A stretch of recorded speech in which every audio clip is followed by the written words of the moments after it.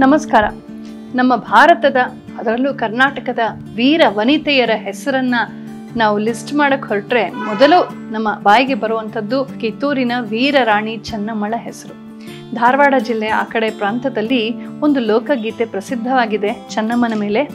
ಕಿತ್ತೂರ ಚೆನ್ನಮ್ಮ ಸುತ್ತೂರ ಒಡತ್ಯಾಗಿ ಕತ್ತಿ ಕವಚಗಳ ಉಡುಪುಟ್ಟೋ ಕತ್ತಿ ಕವಚಗಳ ಉಡುಪುಟ್ಟೋ, ಅಬ್ಬರದಿ ಬತ್ತಲ ಕದರಿಯ ಜಿಗಿದಾಳೋ, ಕೆಂಪು ಮಾರಿಯ ದಂಡು ಸಿಂಪಾಗಿ ಸಿಡಿದೀತೋ, ರಪ್ಪ ರಪ್ಪೆಂದು ಓಡೀತು, ರಪ್ಪ ರಪ್ಪೆಂದು ಓಡೀತು, ಅಮಟೂರ ಬಾಳಪ್ಪ ಗುಂಡಿಟ್ಟ ಥಾಕರೆಗೋ ಇದು ಯುದ್ಧದ ವರ್ಣನೆ. ಒಂದು ಹೆಣ್ಣು, ನಮ್ಮ ಕಿತ್ತೂರಿನ ರಾಣಿ, ತನ್ನ ಗಂಡನ ಒಂದು ಅನುಪಸ್ಥಿತಿಯಲ್ಲಿ ಗಂಡ ಇಲ್ಲ, ಸತ್ತೋಗಿದ್ದಾನೆ. ಆ ಸಂದರ್ಭದಲ್ಲಿ ಬ್ರಿಟಿಷರು ಹೊಂಚು ಹಾಕ್ತಾರೆ ಆ ರಾಜ್ಯವನ್ನು ಕಬಳಿಸೋದಕ್ಕೆ.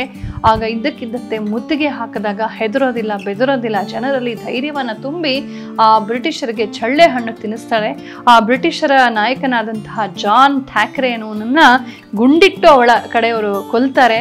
ಹಾಗೆ ಅವನ್ನೆಲ್ಲ ಸೆರೆ ಹಿಡಿದು ಅವಳು ಸೆರೆಮನೆಗೆ ಹಾಕ್ತಾಳೆ ಅಂತ ಆ ರಾಣಿಯ ಆ ಅವಳು ಗೆದ್ದಂತಹ ಮೊದಲ ಯುದ್ಧದ ವರ್ಣನೆಯನ್ನ ಈ ಹಾಡು ಹೇಳುತ್ತೆ.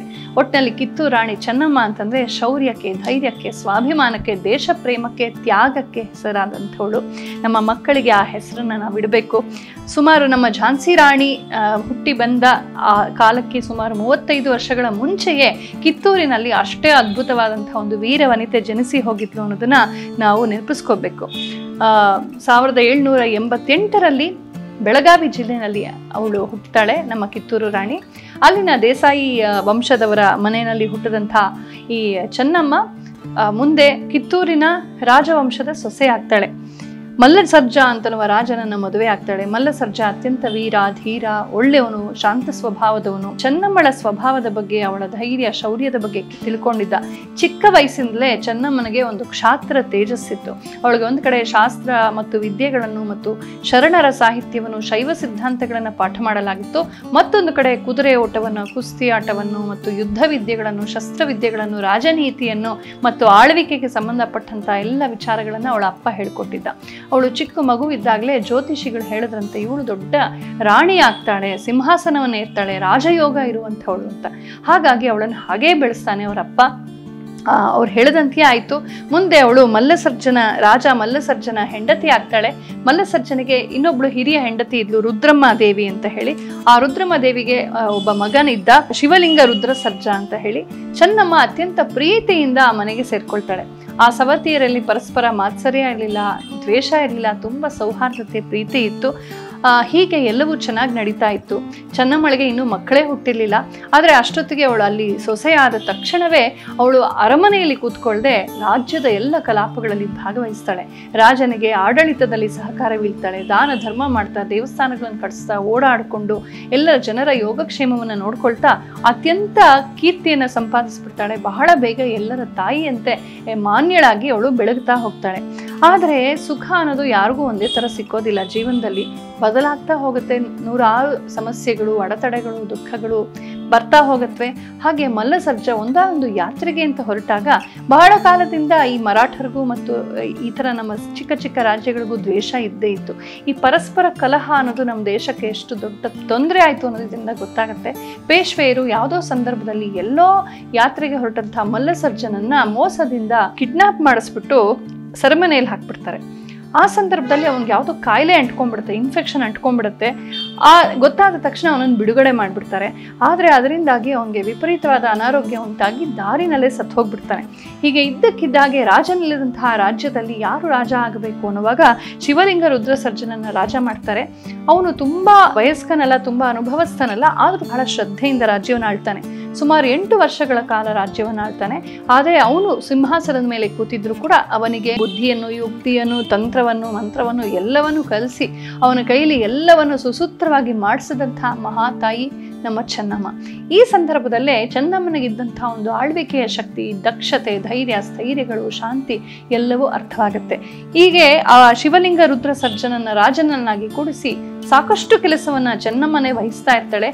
ಆದರೆ ದುರದೃಷ್ಟವಶಾತ್ ಯಾವುದೋ ಒಂದು ಕಾಯಿಲೆ ಬಂದು ಈತ ಕೂಡ ಸತ್ತು ಹೋಗ್ಬಿಡ್ತಾನೆ. ಈಗ ಯಾರು ರಾಜ ಆಗಬೇಕು? ಶಿವಲಿಂಗ ರುದ್ರ ಸರ್ಜನಿಗೆ ಮಕ್ಕಳಿರಲಿಲ್ಲ. ಹಾಗಾಗಿ ಅವನ ಹೆಂಡತಿ ವೀರಮ್ಮ ಇನ್ನೂ ತುಂಬ ಚಿಕ್ಕವಳು. ಹಾಗಾಗಿ ಒಂದು ಮಗುವನ್ನು ದತ್ತು ತೆಗೆದುಕೊಂಡು ಬಂದು ಆ ಮಗುವನ್ನು ರಾಜನನ್ನಾಗಿ ಮಾಡಿ ಇವಳು ಮತ್ತೊಮ್ಮೆ ರಾಜ್ಯವನ್ನು ಆಳ್ತಾ ಹೋಗ್ತಾಳೆ. ಮುಖ್ಯವಾದ ಎಲ್ಲ ಒಂದು ಜವಾಬ್ದಾರಿ ಚೆನ್ನಮ್ಮನ ಕೈಗೆ ಬರುತ್ತೆ.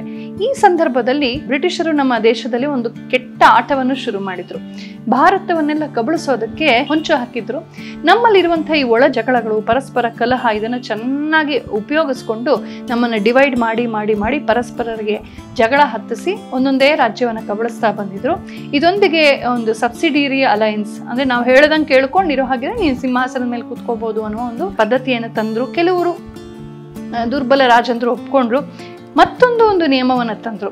ಯಾರಾದರೂ ರಾಜನು ಮಕ್ಕಳಿಲ್ಲದೆ ಸತ್ತರೆ, ಅವನ ದತ್ತು ಪುತ್ರನಿಗಾಗ್ಲಿ, ಅವನ ಯಾರು ನೆಂಟರಿಗಾಗಲಿ ಆ ರಾಜ್ಯ ಹೋಗೋದಿಲ್ಲ, ಅದೆಲ್ಲವೂ ಬ್ರಿಟಿಷರ ಕೈಗೆ ಬರುತ್ತೆ ಅಂತ. ಹೇಳೋರಿಲ್ಲ, ಕೇಳೋರಿಲ್ಲ, ಮನಸ್ಸಿಗೆ ಬಂದು ನಿಯಮ ಹಾಕೋದು, ಅದನ್ನು ಇಂಪ್ಲಿಮೆಂಟ್ ಮಾಡಿಬಿಡೋದು. ಡಾಕ್ಟ್ರಿನ್ ಆಫ್ ಲ್ಯಾಬ್ಸ್ ಅಂತ ಇದಕ್ಕೆ ಹೆಸರು. ಈ ಒಂದು ನಿಯಮವನ್ನ ಇವ್ರ ಮೇಲೆ ಹೇರಕ್ಕೆ ಬರ್ತಾನೆ ಜಾನ್ ಥ್ಯಾಕ್ರೆ ಅಂತನೋ ಅಲ್ಲಿನ ಒಂದು ಕಲೆಕ್ಟರ್ ಆಫ್ ಧಾರವಾಡ. ಆದರೆ ಕಿತ್ತೂರಾಣಿ ಚೆನ್ನಮ್ಮ ಒಪ್ಪೋದಿಲ್ಲ. ಇದು ಸರಿ ಇಲ್ಲ. ಇದು ನಮ್ಮ ದೇಶ, ನಮ್ಮ ರಾಜ್ಯ, ನಮ್ಮ ಒಂದು ಆಡಳಿತ. ನೀನ್ ಯಾರು ನಮಗೆ ಅಡ್ಡ ಬರ್ಲಿಕ್ಕೆ ಅಂತ. ನಾನಾ ಬಗೆಯ ಕಿರುಕುಳಗಳನ್ನ ಕೊಡ್ತಾನೆ. ಚೆನ್ನಮ್ಮನ್ಗೆ ಅರ್ಥ ಆಗತ್ತೆ. ಈಗಾಗಲೇ ದೇಶವನ್ನೆಲ್ಲ ಕಬಳಿಸ್ತಾ ಈ ಬ್ರಿಟಿಷರು ನಮ್ಮ ತಂಟೆಗೆ ಬರ್ತಾರೆ ಅಂತ ಬಹಳ ಬೇಗ ಎಚ್ಚೆತ್ಕೊಳ್ತಾಳೆ. ತನ್ನ ಜನರನ್ನೆಲ್ಲ ಸಂಘಟಿಸಿ ಅವರಲ್ಲಿ ಧೈರ್ಯ, ಸ್ಥೈರ್ಯಗಳನ್ನು ತುಂಬಿ ಅವರಲ್ಲಿ ಒಗ್ಗಟ್ಟೆಯನ್ನು ತರಿಸ್ತಾಳೆ. ಇಡಿಗಾಳಾದರೆ ಬದುಕುವೆವು, ಬಿಡಿಗಾಳಾದರೆ ಸಾಯುವೆವು ಅಂತ ಮಾತನ್ನ ಹೇಳ್ತಾ ಜನರನ್ನ ಒಗ್ಗೂಡಿಸ್ತಾಳಂತೆ. ಆದರೆ ಠಾಕರೆ ಕೂಡ ಯಾವುದೋ ಒಂದು ಹುಳುಕನ್ನು ಹುಡುಕ್ತಾನೆ ಇರ್ತಾನೆ. ನೀವು ಕಳ್ಳಕಾಕರು ಜಾಸ್ತಿ ಆಗಿದೆ ನಿಮ್ಮ ಊರಲ್ಲಿ ತೊಂದರೆಗಳು ಜಾಸ್ತಿ ಆಗಿದೆ, ಹಾಗೆ ಹೀಗೆ ಅಂತ ಏನೇನೋ ವಿಷಯಗಳನ್ನು ಹಬ್ಬಿಸ್ತಾನೆ. ಜೊತೆಗೆ ರಾಜಮನೆತನದ ಬಗ್ಗೆ, ಚೆನ್ನಮ್ಮನ ಬಗ್ಗೆ ಏನೇನೋ ಅವಳು ಸರಿ ಇಲ್ಲ, ಆಳ್ವಿಕೆ ಸರಿ ಇಲ್ಲ, ಹೆಣ್ಣು, ಹೆಂಗಸು, ಅವಳಿಗೇನು ಬರಲ್ಲ, ಈ ರೀತಿಯ ಮಾತುಗಳನ್ನು ಹಬ್ಬಿಸ್ತಾನೆ. ಇಷ್ಟು ಸಾಲದು ಅಂತ ಚೆನ್ನಮ್ಮನ ಸೊಸೆ ಶಿವಲಿಂಗ ರುದ್ರ ಸರ್ಜಾ ಇದ್ನಲ್ಲ, ಅವನ ಹೆಂಡತಿ ವಿಧವೆ ಯಾರಿದ್ಲು ನೊಂದಂಥವಳು, ಚಿಕ್ಕ ಹುಡುಗಿ, ಅವಳ ಮನಸ್ಸಿನಲ್ಲೂ ಕೂಡ ವಿಷವನ್ನು ಬಿತ್ತಿ ಅತ್ತೆ ಸೊಸೆಗೆ ಜಗಳ ತರಿಸೋ ಪ್ರಯತ್ನ ಮಾಡ್ತಾನೆ. ಏನೆಲ್ಲ ಮಾಡಿ ಚೆನ್ನಮ್ಮಳನ್ನ ವೀಕ್ ಮಾಡೋಕೆ ನೋಡ್ತಾನೆ. ಆದ್ರೂ ಕೂಡ ಚೆನ್ನಮ್ಮಳ ಒಂದು ವ್ಯಕ್ತಿತ್ವ ಹೇಗಿತ್ತು ಅಂತಂದ್ರೆ ಇದೆಲ್ಲವೂ ವಿಫಲವಾಯಿತು. ಕೊನೆಗೆ ಜನರೆಲ್ಲ ಅವಳೊಂದಿಗೆ ನಿಂತರು, ಅವಳನ್ನು ಸ್ವಂತ ತಾಯಿಯಂತೆ ಕಂಡ್ರು, ಅವಳು ಕೂಡ ಜನರನ್ನು ಒಗ್ಗೂಡಿಸಿದ್ಲು. ಆದರೆ ಎಷ್ಟು ಕಾಲ ಹೀಗೆ ನಡೆಯೋದು? ಇದನ್ನೆಲ್ಲ ಸರಿಪಡಿಸೋಣ. ಈ ಥ್ಯಾಕ್ರೇನ ತಡಿಬೇಕಾದ್ರೆ ಬ್ರಿಟಿಷ್ ಈಸ್ಟ್ ಇಂಡಿಯಾ ಕಂಪನಿಗೆ ಮೊರೆ ಹೋಗಬೇಕು ಅಂತ ಹೇಳಿ ಅವಳ ಕಡೆಯಿಂದ ಇಬ್ಬರು ಲಾಯರ್ಗಳನ್ನು ಲಿಂಗಭಟ್ಟ ಮತ್ತು ರಾಜಪ್ಪ ಅಂತನ್ನುವ ಇಬ್ಬರು ಲಾಯರ್ಗಳನ್ನು ಕಳಿಸ್ತಾಳೆ. ಆದರೆ ಅದು ಏನು ಫಲಿಸಲಿಲ್ಲ. ಕೊನೆಗೆ ಈ ಈಸ್ಟ್ ಇಂಡಿಯಾ ಕಂಪನಿ ಠಾಕ್ರೆ ಎಲ್ಲರೂ ಕಳ್ರೆ ತಾನೆ ಕೊನೆಗೆ ಯಾವುದೇ ಥರ ಇವಳ ನೆಗೋಸಿಯೇಷನ್ಸ್ ಫಲಿಸಲಿಲ್ಲ. ಹಾಗಾಗಿ ಯುದ್ಧಕ್ಕೆ ಸಜ್ಜಾಗ್ತಾ ಈ ರಾಜ್ಯ ಸರಿ ಇಲ್ಲ ಅಂತ ನೀವು ಡಾಕ್ಟ್ರಿನ್ ಆಫ್ ಲ್ಯಾಬ್ಸ್ ಅನ್ನು ಒಪ್ಕೊಳ್ತಾ ಇಲ್ಲ ಅಂತ ಹೇಳಿ ರಾಜ್ಯವನ್ನು ಕಬಡಿಸೋದಕ್ಕೆ ಅಂತ ಇದ್ದಕ್ಕಿದ್ದ ಹಾಗೆ ಮುತ್ತಿಗೆ ಹಾಕೇ ಬಿಡ್ತಾನೆ ಜಾನ್ ಥ್ಯಾಕ್ರೆ ಹೀಗೆ ಮುತ್ತಿಗೆ ಹಾಕುವಂಥ ಸಂದರ್ಭದಲ್ಲಿ ಇವಳು ಎಷ್ಟು ಸಜ್ಜಾಗಿದ್ಲು ಅಂತ ಅವನಿಗೆ ಗೊತ್ತಿರಲಿಲ್ಲ. ಇವಳು ಈಗಾಗಲೇ ತನ್ನ ಅಕ್ಕಪಕ್ಕದ ಹಳ್ಳಿಗಳಿಗೆ, ಊರುಗಳಿಗೆ, ರಾಜ್ಯರಿಗೆಲ್ಲ ಒಂದು ಪತ್ರಗಳನ್ನು ಕಳಿಸಿ ಅವರೆಲ್ಲರಿಂದ ಸಹಾಯವನ್ನು ತರಿಸ್ಕೊಂಡಿದ್ಲು. ತನ್ನದೇ ಆದ ಹದಿನಾರು ಸಾವಿರ ಜನರ ಸೈನ್ಯವನ್ನು ರೆಡಿ ಮಾಡಿದ್ಲು. ಇದಲ್ಲದೆ ವಯಸ್ಸಾದವರು, ಮಕ್ಕಳು, ಹೆಣ್ಣು ಮಕ್ಕಳು ಎಲ್ಲರೂ ಕೂಡ ಒಂದಲ್ಲ ಒಂದು ರೀತಿ ಯುದ್ಧದಲ್ಲಿ ಭಾಗವಹಿಸೋ ಹಾಗೆ, ಸಹಕರಿಸೋ ಹಾಗೆ, ಸಂಘಟಿತರಾಗಿರೋ ಹಾಗೆ ಭಯ ಪಡದೆ ತುಂಬ ಜಾಣ್ಮೆಯಿಂದ ತಾಳ್ಮೆಯಿಂದ ಕಾರ್ಯನಿರ್ವಹಿಸೋ ಹಾಗೆ ಎಲ್ಲರಿಗೂ ಧೈರ್ಯ, ಸ್ಥೈರ್ಯವನ್ನು ತುಂಬಿ ಸಂಘಟಿಸಿದ್ಲು. ಈ ಸಂದರ್ಭದಲ್ಲಿ ಕಿತ್ತೂರಿನ ಅಕ್ಕಪಕ್ಕದ ಹಲವಾರು ಹಳ್ಳಿಗಳು ಪಾಳೆಗಾರರು ಸಂಗೊಳ್ಳಿ ರಾಯಣ ಇರ್ಬೋದು ಅಕಲಗಿ ಇರ್ಬೋದು, ಅಂಬಡಗಟ್ಟಿ ಇರ್ಬೋದು, ಹೆಗ್ಗೇರಿ, ಹೂಲಿ, ಎಡನಟ್ಟಿ, ವಣ್ಣೂರು, ತಲ್ಲೂರು ಹೀಗೆ ಹಲವಾರು ಚಿಕ್ಕ ಚಿಕ್ಕ ಊರುಗಳ ಪಾಳೆಗಾರರು, ಅಲ್ಲಿನ ಸೈನಿಕರು, ಅಲ್ಲಿನ ಗುಂಪುಗಳು ಎಲ್ಲರೂ ಕೂಡ ಈ ಕಿತ್ತೂರಾಣಿ ಚೆನ್ನಮ್ಮಗೆ ಎಲ್ಲ ಬಗ್ಗೆ ಸಹಕಾರ ಕೊಡ್ತಾರೆ. ಈ ಮಧ್ಯೆ ಏನಾಗಿತ್ತು ನಮ್ಮ ದೇಶದ ಮೊದಲಿಂದು ಕಾಣುವಂಥ ತೊಂದರೆ ಅಂದ್ರೆ ಒಂದು ಅಮೃತದ ಪಾತ್ರೆ ಇದೆ ಅಂತ ಇಟ್ಕೊಳ್ಳಿ. ತುಂಬಾ ಅಮೃತ ಇದೆ ಪಾತ್ರೆಯಲ್ಲಿ. ಅದು ಒಂದು ಸಣ್ಣ ರಂಧ್ರ ಇದ್ರೆ ಸಾಕು, ಎಲ್ಲ ಸೋರ್ ಹೋಗುತ್ತೆ. ಹಾಗೆ ಇಷ್ಟು ಜನ ದೇಶಭಕ್ತರೆಲ್ಲ ಸೇರಿ ರಾಣಿಗೆ ಬೆಂಬಲ ಕೊಟ್ಟು ಜೊತೆಲೆ ನಿಂತರೂ ಕೂಡ ಒಂದಷ್ಟು ಜನ ದ್ರೋಹಿಗಳಿದ್ರು. ಆ ಠಾಕ್ರೆ ಕೊಡುವಂಥ ಹಣಕ್ಕೆ ಕೈಯೊಡ್ಡಿ ದೇಶವನ್ನು, ಧರ್ಮವನ್ನು, ನಾಡನ್ನು ರಾಣಿಗೆ ದ್ರೋಹವನ್ನು ಎಸಗ್ತಾರೆ. ಕನ್ನೂರ ಮಲ್ಲಪ್ಪ ಅಂತ ಒಬ್ಬ, ವೀರಪ್ಪ ಅಂತ, ಸರದಾರ ಮಲ್ಲಪ್ಪ ಅಂತ ಇವರೆಲ್ಲ ದ್ರೋಹವನ್ನು ಮಾಡಿ ಈ ತೊಂದರೆಯನ್ನು ಕೊಡ್ತಾರೆ. ಆದರೆ ಈ ಚನ್ನಮ್ಮನ ಕಡೆಯ ಒಂದು ಯುವಕರ ಪಡೆ ಹೇಗಿತ್ತು ಅಂತಂದ್ರೆ ಅವ್ರು ಅವನ್ನೆಲ್ಲ ಗುರುತಿಸ್ಬಿಟ್ಟು ಸಾಯಿಸ್ಬಿಡ್ತಾರೆ. ಠಾಕ್ರೆಗೆ ಗೊತ್ತಿಲ್ಲ ಇವಳ ಶಕ್ತಿ ಎಂಥದ್ದು ಅಂತ ಮುತ್ತಿಗೆ ಹಾಕ್ತಾನೆ ಕೊನೆಗೆ ಕೋಟೆ ಬಾಗ್ಲ ಹತ್ರ ತನ್ನ ಸಿಡಿಮದ್ದುಗಳನ್ನು ನಿಲ್ಲಿಸ್ಬಿಟ್ಟು ಕೋಟೆ ಬಾಗ್ಲನ್ನು ಹೊಡಿತೀವಿ, ತಕ್ಷಣ ಬಾಗಿಲು ತೆಗಿಬೇಕು ಸರೆಂಡರ್ ಆಗಬೇಕು ಅಂತ. ಕಿತ್ತೂರು ರಾಣಿ ಚಮ್ಮ ತೆಗಿಯೋದಿಲ್ಲ. ಕೊನೆಗೆ ಇವನೇನು ಹೊಡೆದೇ ಹಾಕ್ಬಿಡ್ತಾನೆ ಗುಂಡಿಂದ ಅನ್ನುವಾಗ, ಸರಿ ಕೋಟೆ ಬಾಗಿಲು ಹೊಡೆಯೋದು ಬೇಡ ಅಂತ ಹೇಳಿ ಅದನ್ನು ದಪ್ಪೆಂದು ತೆರೆಸ್ಬಿಟ್ಟು ಚೆನ್ನಮ್ಮನ ಕಡೆಯ ಒಂದು ಯಾವ ಸೈನ್ಯ ಇರುತ್ತೆ, ನುಗ್ಗಿ ಬ್ರಿಟಿಷರ್ಸನ್ನ ನುಚ್ಚು ನೂರು ಮಾಡಾಕ್ತಿರ್ತಾರೆ ಅಲ್ಲಿ ಎಲ್ಲರನ್ನು ನುಚ್ಚು ನೂರು ಮಾಡಿ ಬ್ರಿಟಿಷ್ ಸೈನಿಕರ ರುಂಡಗಳನ್ನು ಚೆಂಡಾಡಿ, ಕೇವಲ ಗಂಡಸರಲ್ಲ, ಹೆಂಗಸರು ಅದರಲ್ಲೂ ನಮ್ಮ ಕಿತ್ತೂರಾಣಿ ಚೆನ್ನಮ್ಮ ಗಂಡು ಉಡುಗೆಯನ್ನು ತೊಟ್ಟು, ಕವಚವನ್ನು ತೊಟ್ಟು, ಕುದುರೆಯನ್ನೇರಿ ಕೈಯಲ್ಲಿ ಖಡ್ಗವನ್ನು ಹಿಡಿದು ಸಿಡಿಲಿನಂತೆ ಎರಗುತ್ತಾ ಅವರನ್ನೆಲ್ಲ ಸಾಯಿಸ್ತಾ ಹೋಗ್ತಾಳೆ. ಆಶ್ಚರ್ಯವಾಗುತ್ತೆ ಶಾಕ್ ಆಗುತ್ತೆ ಥ್ಯಾಕ್ರೆ ಎಕ್ಸ್ಪೆಕ್ಟೇ ಮಾಡಿರಲಿಲ್ಲ. ಕೊನೆಗೆ ಥ್ಯಾಕ್ರೆಯನ್ನೇ ಬಂಧಿಸ್ಬಿಡ್ತಾಳೆ ಚೆನ್ನಮ್ಮ. ಬಂಧಿಸಿ ಇನ್ನೇನು ಸೆರೆಗೆ ಕರ್ಕೊಂಡು ಹೋಗ್ಬೇಕು ಅನ್ನೋವಾಗ ಅವಳ ಕಡೆಯಿಂದ ಒಬ್ರು ಗೊತ್ತಿಲ್ಲದೆ ಅಥವಾ ಅವಳನ್ನು ರಾಣಿಗೆ ಏನು ತೊಂದರೆ ಕೊಡ್ತಾನೋ ಏನೋ ಅಂತ ಹೇಳಿ ಆ ಥ್ಯಾಕ್ರೆಯನ್ನು ಸಾಯಿಸ್ಬಿಡ್ತಾರೆ. ಅಮಟೂರ ಬಾಳಪ್ಪ ಅನ್ನೋನು ಆ ಥ್ಯಾಕ್ರೆಯನ್ನು ಸಾಯಿಸ್ತಾನೆ. ಮತ್ತೆ ಜನರಿಗೆ ಬ್ರಿಟಿಷರ್ಸ್ ಮೇಲೆ ಎಷ್ಟು ಕೋಪ ಇತ್ತು ಅಂದರೆ ಮಾಡಬಾರದ ಕೆಟ್ಟ ಕೆಲಸಗಳನ್ನು ಮಾಡಿ ನಮ್ಮ ದೇಶ, ಧರ್ಮ, ಸಂಸ್ಕೃತಿ, ಸಾಮಾಜಿಕ ವ್ಯವಸ್ಥೆ, ಅರ್ಥವ್ಯವಸ್ಥೆ, ವ್ಯಾಪಾರ, ವ್ಯವಹಾರ, ಪರಿಸರ ಎಲ್ಲವನ್ನೂ ಹಾಳು ಹಚ್ಚಿದಂಥ ಒಂದು ವೈರಸ್ ಇದ್ದ ಹಾಗೆ. ಮೊದಲು ಇಸ್ಲಾಂ ಆಕ್ರಮಣ ಆಯಿತು, ಆಮೇಲೆ ಈ ಬ್ರಿಟಿಷರ್ಸು ಆ ಕೋಪವೆಲ್ಲ ಒಂದು ಹೆಪ್ಪುಗಟ್ಟಿತ್ತಲ್ಲ. ಚೆನ್ನಮ್ಮ ಬೇಡ, ಅವರನ್ನು ಸೆರೆ ಹಿಡಿಯೋಣ ಸಾಕು ಅಂತ ಹೇಳಿದ್ರು, ಕೇಳಿಲ್ಲ. ಆವೇಶದಲ್ಲಿದ್ದಂಥ ಅವಳ ಸೈನಿಕರು, ಜನರೆಲ್ಲ ಹೋಗಿ ಹೋಗಿ ಆ ಬ್ರಿಟಿಷರ್ ಯಾರ್ಯಾರ ಕೈಗೆ ಸಿಗ್ತಾರೋ ಅವನ್ನೆಲ್ಲ ಕೊಂದು ಹಾಕ್ಬಿಡ್ತಾರೆ. ಮಿಕ್ಕವರನ್ನು ಅವ್ರು ಕರ್ಕೊಂಡು ಹೋಗಿ ಸೆರೆಯಲ್ಲಿ ಹಾಕ್ತಾಳೆ. ಈ ವಿಷಯ ತಿಳಿದಂಥ ಇನ್ನೂ ಉನ್ನತ ಅಧಿಕಾರಿ ಚಾಪ್ಲಿನ್ ಅನ್ನೋನಿಗೆ ತುಂಬ ಕೋಪ ಬರುತ್ತೆ. ಅವನು ಗೊತ್ತಾಗತ್ತೆ ಈ ಥರ ನಾನು ಇದ್ದಕ್ಕಿದ್ದ ಹಾಗೆ ಯುದ್ಧ ಎರಗಬಾರ್ದು ಅಂತ ಸಂಚು ಹಾಕ್ತಾನೆ. ಇವಳ ಶಕ್ತಿಗಳೇನು, ಇವಳ ಗುಣದೋಷಗಳೇನು ಎಲ್ಲ ತಿಳ್ಕೊಂಡು ಈ ಸಾಮ್ರಾಜ್ಯವನ್ನು ಹೇಗೆ ನಾವು ಲಗ್ಗೆ ಹಾಕಬೇಕು ಅಂತ ತಿಳ್ಕೊಂಡು, ಯಾರ್ಯಾರು ಲಂಚಕೋರರು ಅಂತ ತಿಳ್ಕೊಂಡು ಅವ್ರಿಗೆ ಲಂಚಗಳನ್ನು ಕೊಟ್ಟು ಅವ್ರ ಮೂಲಕ ಚೆನ್ನಮ್ಮನ ವಾರ್ ಸ್ಟ್ರಾಟಜಿ ಏನು, ಅವಳ ಒಂದು ಪರಿಸ್ಥಿತಿ ಹೇಗಿದೆ, ಒಳಗಡೆ, ಹೊರಗಡೆ ಎಲ್ಲ ತಿಳ್ಕೊಂಡು ಬೆಳಗಾವಿ ಕಡೆಯಿಂದ ನಾವು ಮುತ್ತಿಗೆ ಹಾಕಿದ್ರೆ ಅವ್ರು ಸ್ವಲ್ಪ ವೀಕ್ ಇದ್ದಾರೆ ಅಂತ ತಿಳ್ಕೊಂಡು ಆ ಕಡೆಯಿಂದ ಮುತ್ತಿಗೆ ಹಾಕ್ತಾರೆ. ಚೆನ್ನಮ್ಮನಿಗೆ ಗೊತ್ತು, ತನ್ನ ಸೈನ್ಯ ಚಿಕ್ಕದು, ತನಗೆ ಅನನುಕೂಲ ಇದೆ, ತನ್ನ ರಿಸೋರ್ಸಸ್ ಕಡಿಮೆ, ಎಲ್ಲ ಗೊತ್ತು. ಆದರೂ ಕೂಡ ಸ್ವಾಭಿಮಾನ, ದೇಶಾಭಿಮಾನ ಎಲ್ಲಕ್ಕಿಂತ ದೊಡ್ಡದು. ಡೂ ಆರ್ ಡೈ ಹೋರಾಡಬೇಕು. ಹತೋವಾ ಪ್ರಾಪ್ಸಿಸಿ ಸ್ವರ್ಗಂ ಜಿತ್ವಾವಾ ಭೋಕ್ಷಿಸೇ ಮಹಿಂ ಅಂತ ಕೃಷ್ಣ ಹೇಳ್ತಾನಲ್ಲ, ಒಂದ ಹೋರಾಡಿ ಮಣಿಬೇಕು ಧೀರರಂತೆ, ಅಥವಾ ರಾಜ್ಯವನ್ನು ಅನುಭವಿಸಬೇಕು. ನಾನು ಹೇಳಿಯಂತೆ ಶರಣಾದ್ರೆ ಮುಂದಿನ ತಲೆಮಾರವರೆಲ್ಲ ಈ ಕಚಡ ಜನರಿಗೆ ತಲೆಬಾಗೋ ಹಾಗಾಗತ್ತಲ್ಲ ಅಂತ ಹೇಳಿ ರಾಣಿ ನಿರ್ಧಾರವನ್ನು ತೆಗೆದುಕೊಳ್ತಾಳೆ. ಕಷ್ಟವಾದರೂ ಪರವಾಗಿಲ್ಲ ಅಂತ ಬಹಳ ಕಷ್ಟದಿಂದ ಹೋರಾಡ್ತಾಳೆ. ಆದರೆ ಅಪೇಕ್ಷಿಸಿದಂತೆ, ನಿರೀಕ್ಷಿಸಿದಂತೆ ದ್ರೋಹಿಗಳ ಒಂದು ಸಹಾಯದಿಂದಾಗಿ ಮುತ್ತಿಗೆ ಹಾಕ್ತಾರೆ. ಕೊನೆಗೆ ಚೆನ್ನಮ್ಮನನ್ನೇ ಸೆರೆಯನ್ನು ಪಡಿತಾರೆ. ಅವಳನ್ನು ಬಯಲು ಹೊಂಗಲದ ಜೈಲಿನಲ್ಲಿ ಸುಮಾರು ಐದು ವರ್ಷಗಳ ಕಾಲ ಇಟ್ಟಿರ್ತಾರೆ.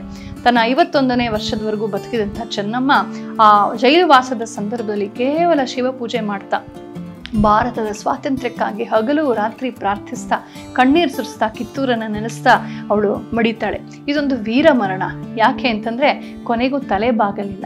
ಸಿಂಹವನ್ನು ಪಂಜರದಲ್ಲಿ ಹಾಕಿದ್ರು ಅದು ಸಿಂಹವೇ. ಅದರ ಸಿಂಹತ್ವ ಯಾವತ್ತೂ ನಾಶವಾಗೋದಿಲ್ಲ. ಇಂಥ ಧೀರ ಮಹಿಳೆ ಆ ಚೆನ್ನಮ್ಮ ಅವಳ ಪಡೆಯಲ್ಲಿದ್ದಂಥ ಸಂಗೊಳ್ಳಿ ರಾಯಣ್ಣ ಮುಂದೆ ಹೇಗೆ ಆ ವೀರ ವನಿತೆಯ ಒಂದು ಆವೇಶವನ್ನು ಮುಂದೆ ಹಿಡಿದು ಮುಂದೆ ಸಂಗ್ರಾಮ ಮಾಡ್ತಾ ಹೋದ ಅಂತ ಅನ್ನೋದನ್ನು ನಾವು ಇನ್ನೊಂದು ಸಲ ನೋಡೋಣ. ಹೀಗೆ ಸಂಗೊಳ್ಳಿ ರಾಯಣ್ಣನ ಆ ತ್ಯಾಗ, ಆ ಒಂದು ಧೈರ್ಯ, ಶಕ್ತಿ ಚೆನ್ನಮ್ಮನ ಆ- ಸಾಹಸ, ಇದು ಮುಂದೆ ಏಯ್ಟೀನ್ ಫಿಫ್ಟಿ ಸೆವೆನಲ್ಲಿ ಸ್ವಾತಂತ್ರ್ಯ ಸಂಗ್ರಾಮಕ್ಕೆ ಸಾಕಷ್ಟು ಸ್ಫೂರ್ತಿಯನ್ನು ಕೊಟ್ಟಿದೆ ಅಂತ ಹೇಳ್ತಾರೆ. ಹೀಗೆ ಇಂಥ ವೀರವನಿತೆಯರು, ಧೀರರು, ವೀರರು, ತ್ಯಾಗಿಗಳು, ರಾಣಿಯರು, ಯೋಧೆಯರು ಇದ್ದಂಥ ಕನ್ನಡ ನಾಡಿನವರು ನಾವು ಅಂತ ಎಷ್ಟು ಖುಷಿ ಆಗುತ್ತೆ ಮಾತೆತ್ತರೆ ಹೆಣ್ಣು ಮಕ್ಕಳ ವಿಧವೆಯರ ಕಣ್ಣೀರ್ ಬಗ್ಗೆ, ಸತಿ ಸಿಸ್ಟಮ್ ಬಗ್ಗೆ ಅಥವಾ ಡೌರಿ ಬಗ್ಗೆನೇ ಮಾತನಾಡುವಂಥ ನಾವು ನಾವು ಯಾಕೆ ಇಂಥ ವೀರ ವನಿತೆಯರ ಕಥೆಗಳನ್ನು ಕೇಳೋದಿಲ್ಲ? ಇಂಥ ಅದ್ಭುತವಾದ ಛಲವನ್ನು ಬಲವನ್ನು, ಯುಕ್ತಿಯನ್ನು, ತಾಕತ್ತನ್ನು, ದಕ್ಷತೆಯನ್ನು, ಕೌಶಲವನ್ನು, ಪ್ರೇಮವನ್ನು, ತ್ಯಾಗವನ್ನು, ಜನವಾತ್ಸಲ್ಯವನ್ನು ಎಲ್ಲವನ್ನೂ ಹೊಂದಿದಂತಹ ರಾಣಿಯರೆಲ್ಲ ನಮ್ಮಲ್ಲಿ ಆಗಿ ಹೋಗಿದ್ರು. ನಮ್ಮದೇ ಕನ್ನಡ ನಾಡಿನಲ್ಲಿ ಆ ಚೆನ್ನಮ್ಮ ಬದುಕಿ ಹೋಗಿದ್ದಾಳೆ. ಆ ಚೆನ್ನಮ್ಮಳನ್ನು ಸೆರೆ ಹಿಡಿದ ಮೇಲೆ ಆ ದುಷ್ಟ ಚಾಪ್ಲಿನ್ ಮೂರು ತಿಂಗಳ ಕಾಲ ಅವಳ ಅರಮನೆಯನ್ನು ಸಂಪೂರ್ಣವಾಗಿ ಲೂಟಿಗೈದು ಒಂದು ಸಣ್ಣ ನಾಣ್ಯವನ್ನು ಬಿಡಲಿಲ್ವಂತೆ. ಖಜಾನೆಯನ್ನೆಲ್ಲ ತೆಗೆದು ಎಲ್ಲವನ್ನ ಲೂಟಿಗೈದು ಒಂದು ಚಿಕ್ಕ ಕಾಸು ಇಲ್ಲದಂತೆ ಮಾಡಿ ಸಮಸ್ತ ಅರಮನೆಯನ್ನು ಹಾಳು ಮಾಡಿ, ಧ್ವಂಸ ಮಾಡಿ, ಮುರಿದು ಹಾಕಿ, ಸುಟ್ಟು ಹಾಕಿ ಜನರಿಗೆಲ್ಲ ತೊಂದರೆ ಕೊಟ್ಟು ಇರುವ ವ್ಯಾಪಾರ ವಹಿವಾಟೆಲ್ಲವನ್ನ ನಾಶ ಮಾಡಿ ಕಿತ್ತೂರಿನ ವೈಭವವನ್ನು ಮಣ್ಣು ಪಾಲಾಗಿಸಿ ಅದೆಲ್ಲವನ್ನ ಕದ್ದುಕೊಂಡು ಶಿಪ್ಗಳಲ್ಲಿ ಲಂಡನ್ಗೆ ತೊಗೊಂಡು ಹೋಗಿದ್ದಾನೆ. ಇವತ್ತಿಗೂ ನಮ್ಮ ವೀರ ಚೆನ್ನಮ್ಮ ಬಳಸ್ತಾ ಇದ್ದಂತಹ ರಾಜಲಾಂಛನದ ಒಂದು ವಜ್ರಖಚಿತವಾದ ಕತ್ತಿಯು ಮತ್ತು ಯುದ್ಧದಲ್ಲಿ ಹೋರಾಡಕ್ಕೆ ಬಳಸಿದಂತಹ ಎರಡು ಕತ್ತಿಯು ಲಂಡನಿನ ಮ್ಯೂಸಿಯಂ ಅಲ್ಲಿ ಇದೆ ಎಲ್ಲ ದಾಖಲೆಗಳಿದೆ ಅಂತ ಎಷ್ಟೋ ಜನ ಸಂಶೋಧಕರು ಹೇಳ್ತಾರೆ. ಆಸ್ ಯೂಶಲ್ ನಮ್ಮ ವಾಮಪಂಥೀಯರು ಅದೆಲ್ಲ ಸುಳ್ಳು, ಎಲ್ಲ ಸುಳ್ಳು, ಏನೂ ಆಗಿಲ್ಲ ಅಂತ ಹೇಳ್ಕೊಟ್ಟು ಹೋಗ್ತಾರೆ. ಆದರೆ ನಿಜವಾದ ಜವಾಬ್ದಾರಿಯುತ ಭಾರತೀಯರು ನಾವು ಹೆಂಗಾರು ಮಾಡಿ ಆ ದಾಖಲೆಗಳನ್ನು ತರಿಸ್ಕೊಂಡು ಚೆನ್ನಮ್ಮನ ಖಡ್ಗ ನಿಜಕ್ಕೂ ಇರೋದಾದ್ರೆ ತೆಗೆದುಕೊಂಡು ಬಂದು ಕರ್ನಾಟಕದ ಹೃದಯ ಮಧ್ಯದಲ್ಲಿ ಅದನ್ನು ವೈಭವದಿಂದ ಪೂಜಿಸಬೇಕು, ಆರಾಧಿಸಬೇಕು. ಚೆನ್ನಮ್ಮನ ಸಮಾಧಿ ಇವತ್ತಿಗೂ ಬೈಲಹೊಂಗಲದಲ್ಲಿದೆ ಆದರೆ ಹಲವಾರು ಸರ್ಕಾರ ಸಂಸ್ಕಾರಗಳ ನಿರ್ಲಕ್ಷ್ಯದಿಂದಾಗಿ ಅಷ್ಟೊಂದು ಚೆನ್ನಾಗಿ ಮೇಂಟೈನ್ ಮಾಡಿಲ್ಲ ಅಂತ ಹೇಳ್ತಾರೆ. ಒಟ್ನಲ್ಲಿ ಚೆನ್ನಮ್ಮಳು ನಮ್ಮ ಹೃದಯ ಸಿಂಹಾಸನದಲ್ಲಿ ಅಷ್ಟೇ ಅದ್ಭುತವಾಗಿ ಮೆರೆಯುವಂಥ ವೀರ ರಾಣಿ, ಅವಳ ಆ ಧೈರ್ಯ ಶೌರ್ಯಗಳು, ತ್ಯಾಗ ಸಾಹಸಗಳು ನಮ್ಮೆಲ್ಲರಿಗೂ ಒಂದು ಜ್ವಲಂತ ಆದರ್ಶವಾಗಲಿ, ಪ್ರೇರಣಾದಾಯಕವಾಗಲಿ ಅಂತ ಹಾರೈಸೋಣ. ನಮಸ್ಕಾರ.